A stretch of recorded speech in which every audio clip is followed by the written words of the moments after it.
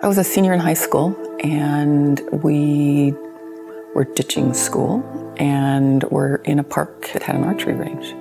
And there were a bunch of young kids practicing their archery skills with hunting arrows. And an arrow went over a bale of hay, through a chain link fence, through a tree, and actually hit me in the eye.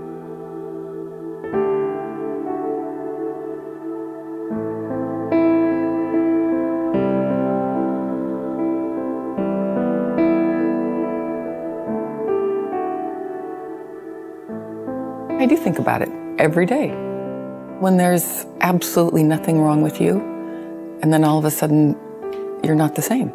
Now you have something that makes you a little bit different, that you're not just all the same as everybody else.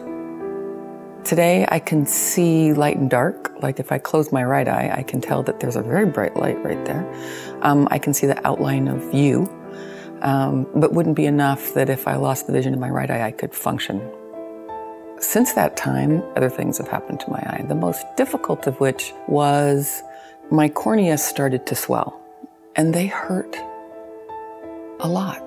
It's one of those pains that you can't do anything. You can't, you can't even think about anything because it hurts so much.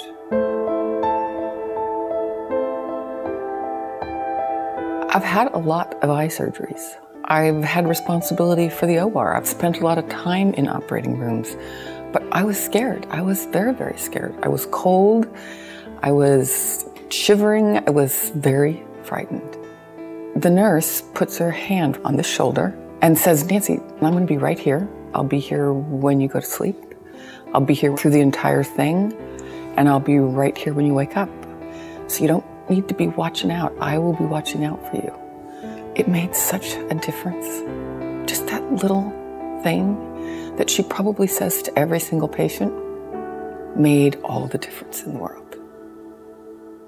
The big takeaway for me is we need to think more carefully about what we're expecting of patients when we send them home.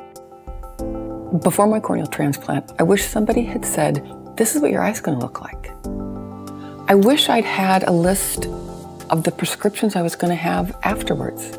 I wish I'd had some time to think about what that was going to do and what I so I could be prepared for when I came home because I wasn't.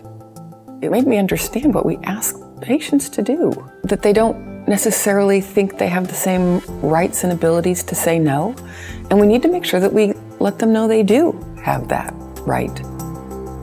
I was talking to a patient yesterday and she said, I hate when I lie here and they come in and there are eight people circling my bed and they're all standing up looking down on me. And she said, I feel like I'm about 12 inches tall. We have to not just invite them, but we have to assure them, you know what, you do have a right. You should know who those people are. CI Care works because everybody does it. And it's consistent from the housekeeper who walks in and is gracious and knocks on the door, to the person who is in the hallway who's passing somebody else's tray and looks up and smiles at you, to the nurse who exits courteously and says, Is there anything else I can do with you? It touches you as a human being. CI Care connects people to people. You are two people connected by caring for each other. And that's pretty fabulous. We think of patients as being visitors in our house when really we're visitors in their life. They need us more than ever.